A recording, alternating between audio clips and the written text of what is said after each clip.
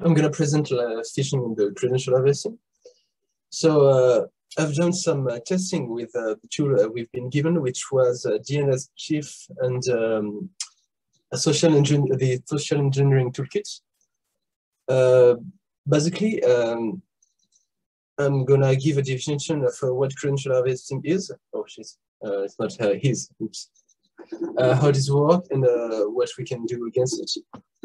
Uh, so basically, um, phishing uh, takes uh, various forms, like such as uh, fraudulent email, uh, suspicious links. Uh, we can even harvest uh, using malware viruses or links to bogus websites. And in that very case, what I did was to clone a website to harvest the, the credentials. we can even do, do um, there, there even scrambling tools that, for instance, when you when we make a typo of uh, a famous website, for instance, uh, instead of uh, writing Facebook, we mismatch the A and E. We can go like to a, bogus website that is a fake Facebook, basically a clone, but that is going to harvest our credentials. So credential harvesting can take uh, very various forms. Uh, the most classic one is uh, the small scale phishing, so it's a very generic attack. Uh, you, we're gonna send um, a suspicious mail to uh, everyone. We don't really care who, who will receive it. We're just expecting some part of the population to uh, to click on the link and to get baited. So it's a very large scale and uh, it's um, a low uh, a low reward. Spear phishing, uh, on the other hand, is very targeted. So we will target a, a person we'll have to study his behaviors, his, um, his personal life, so we can um, make a, personalized uh, attacks. So it's uh, it takes a bit more time than a smaller scale phishing, but it's uh, usually uh, more successful. And uh, last but not least, there is a whaling that uh, targets um, very important people, and that if is successful is very rewarding. the the major leaks that happens in big company was the the fruit of whaling attacks. So um, I'm going to do a live demo of uh, set toolkit and DNS Chief.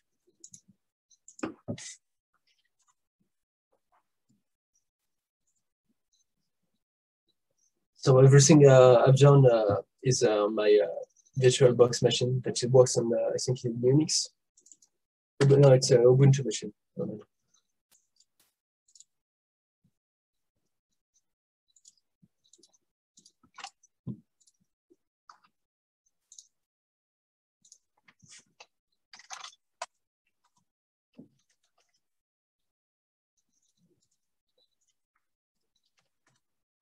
So right now I'm gonna just, I'm just gonna start the, um, the script, is um, set toolkit.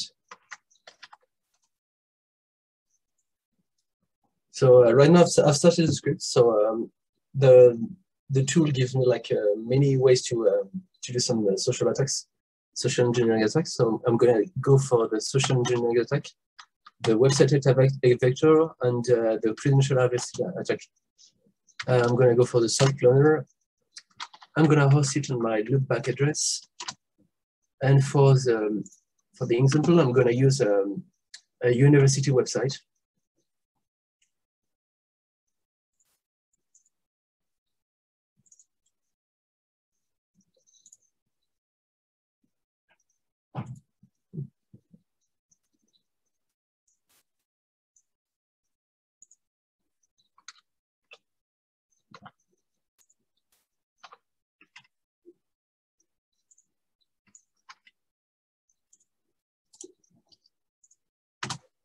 Okay, so right now the, the tool is cloning the website. So in a, a few moments, uh, it's going to be uh, pasted in the, my loopback address.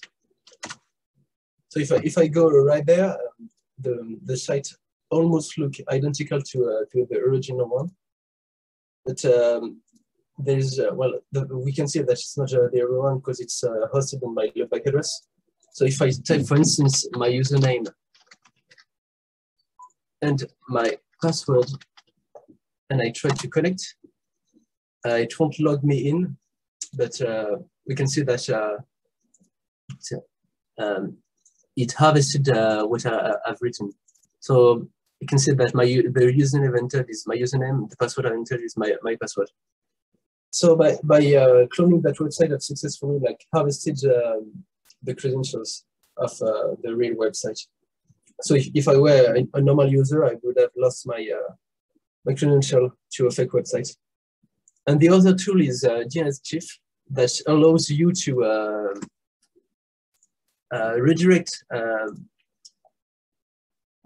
a request to uh, to the fake website. So for instance, if a person is using uh, your DNS chief, uh, you can basically reroute um, its request to, to the website you cloned. So for instance, instead of going to the university, I'm going to redirect that, uh, that request to my website.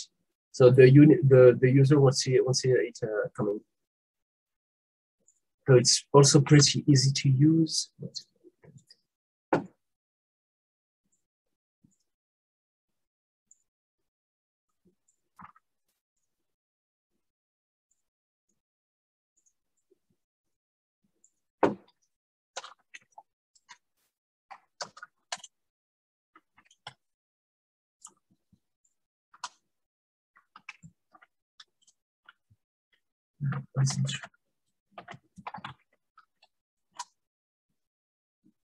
Uh, so right now, uh, I, I, didn't specify any parameters. I've just launched, launched it. I've just uh, started my DNS. If I want to uh, to uh, spoof a, a particular um, website, I have to write a fake fake IP uh, and uh, specify which IP I, where where I wanted the request to be rerouted. So will be on my loopback and the fake domains, the website I want to um, to impersonate. I can uh, write a specific website or reroute everything uh, that is coming to uh, to the, the IP I've specified. So right now I've uh, I've rerouted every single request to the, the loopback address. So if I'm using that DNS, everything is going to be routed to my fake website that is then going to harvest uh, the credentials. But it's not the, the, the most uh, convenient way to do it. Like it would be better to just uh, reroute the, the request for that website uh, to, to the fake one. So that, that concludes my presentation on uh, how the credential harvesting works for me. Awesome. Well, I really like the presentation. We're definitely off to a great start. Um, I'm going to do a quick summary of, of some things that you talked about, even though you did a great job explaining them. Um, just so that people who aren't really familiar with the concepts hear it one more time and, and know kind of what you did. So what we're basically doing is we're duplicating an existing website, but we're hosting it on an attacker machine so that whoever connects to the website, instead of connecting to the actual website, they connect to the attacker machine's version of it. And then when they enter any credentials, the attacker can then read those credentials. Um, and then the other thing that uh, uh, was was shown was DNS Chef. DNS Chef allows you to redirect or really really easily create your own fake DNS server and redirect DNS requests to your machine. Now, DNS requests are anytime you enter in a URL like google.com or something like that, um, you're not using the IP address of the machine you want to connect to, you're using a nice, nicely formatted URL that then gets converted to an IP address through a DNS server. What you can do is you can impersonate that DNS server and say, oh, I want to redirect this specific URL to this specific IP address. Now, of course, to actually use that as an attacker, you'd have to somehow gain man in the middle. So this is this is kind of cool in the sense that it connects to what the man in the middle people are doing. So you'll see that they they're doing art poisoning and attacks like that. So that will allow you to become man in the middle. Um, and then from there, you can fake that you're the DNS server. And then any requests to an actual website will be redirected to your fake login page. That's essentially, that's the whole scope. Um, if anybody has any questions about what was just presented, uh, what we talked about, I also really liked how you went over the different types of fishing. The um, like especially spear fishing is becoming increasingly popular uh, because it allows you to target specific individuals and be more, um, make it more likely that they'll actually fall for your attack. but yeah, if anybody has questions, feel free to ask them now.